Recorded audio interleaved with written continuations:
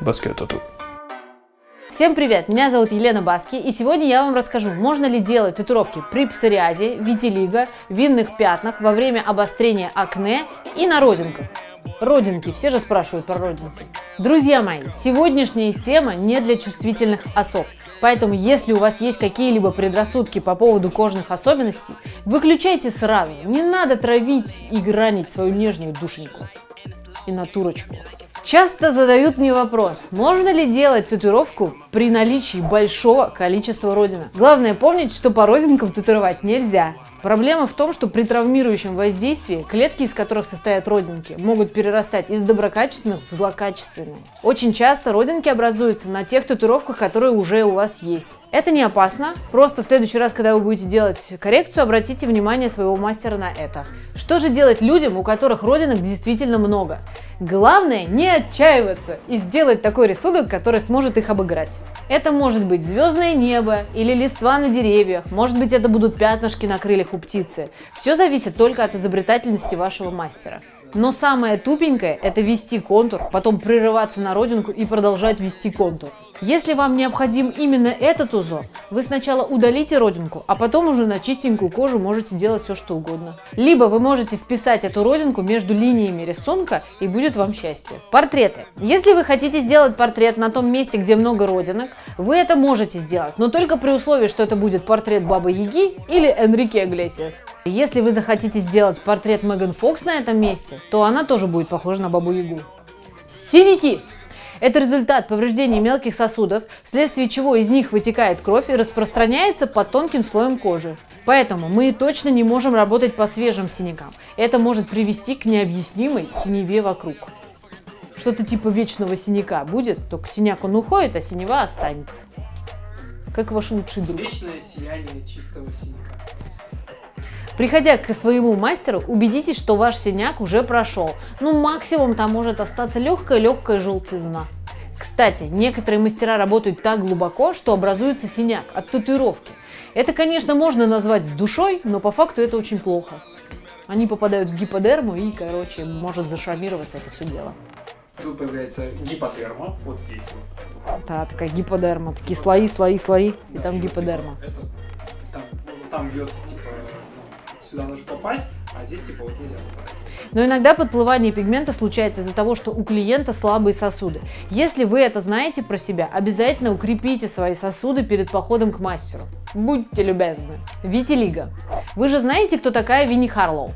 Это человек, который не стесняется своих пятен, но тем не менее многих они волнуют. Врачи не рекомендуют наносить татуировки при витилиго, так как это аутоиммунное заболевание. Но, есть большое но. На своей практике я часто перекрывала пятна от витилиго. Если у вас наблюдается разрастание пятен, то я не советую делать вам татуировку. Если же вы находитесь в стадии ремиссии и пятна не увеличиваются не появляются новые, тогда вы можете спокойно обратиться к своему тату-мастеру и все заживет замечательно. Некоторые грезят идеей закрасить свои пятна в тон кожи.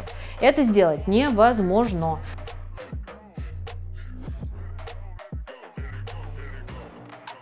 Наша кожа постоянно меняет оттенок. Летом она темнее, зимой светлее. Стоит чуть-чуть замерзнуть, и цвет кожи опять поменяется. И даже если ваш мастер тон в тон идеально подобрал пигмент, стоит вам чуть-чуть загореть, и кожа опять будет неровного цвета.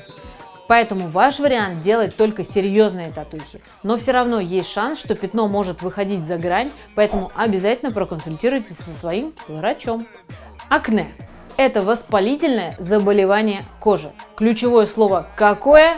Воспалительное. Я понимаю, вам очень хочется, но если воспаленную часть травмировать, тем более, что там уже есть бактерии, все это может привести к инфекции. Как правило, акне локализованы, поэтому мой вам совет выбрать другое место, либо полностью устранить причину возникновения акне и уже на зажившем месте делать татуировку. Но если вы любите покачаться и закинуть в себя анаболические стероиды, из-за которых могут возникнуть стероидные акне, то лучше вообще не делать татуировку на этом месте. Потому что прыщ залегает достаточно глубоко, и пигмент будет выбаливать. И в итоге вы получите недостаточно качественную работу, несмотря на большое количество коррекций. Ваша татуировка будет либо пятнистой, либо подплывшей, либо все вместе. Винное пятно или пламенеющий невус является сосудистой аномалией.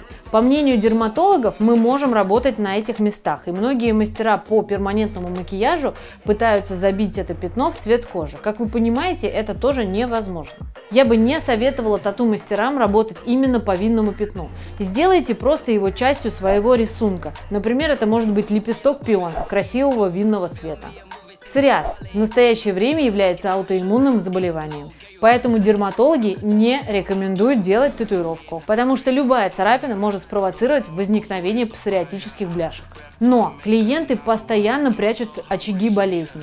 Это, как правило, локти или колени. И когда ты делаешь татуировку на запястье, естественно, никто не будет задирать рукав по самую шею. Я несколько десятков раз работала с такого рода клиентами и замечала бляшки только по окончанию работы. Так вот, я ни разу не встречала, чтобы на татуировке проявлялись бляшки, хотя, конечно, фотографии в интернете есть.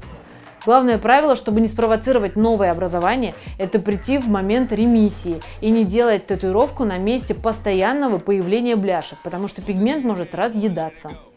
Несмотря на все сложности, которые мы обсуждали в этом выпуске, это совершенно не значит, что вы не можете делать себе татуировки. Просто подойдите к этому вопросу обстоятельно и обязательно проконсультируйтесь со своим врачом.